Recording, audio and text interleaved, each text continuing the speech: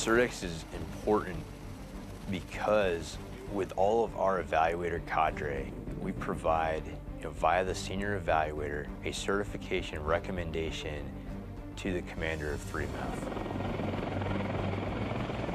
EOTG creates the scenario, provide the evaluators, they provide the site control, site support.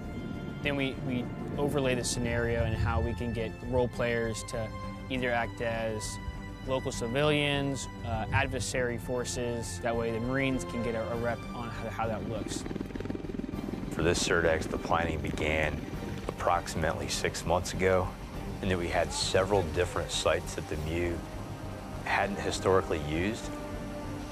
We looked to provide the best training opportunities, uh, but you know, more importantly, the best opportunities for certification and for them to work through some of the problems to prove that they have the ability to deal with complex problems to the evaluator cadre. Go, keep going. The MEU has 10 mission critical tasks, uh, MCTs. So based off of each uh, MCT, you know, a scenario in the overall scenario is developed.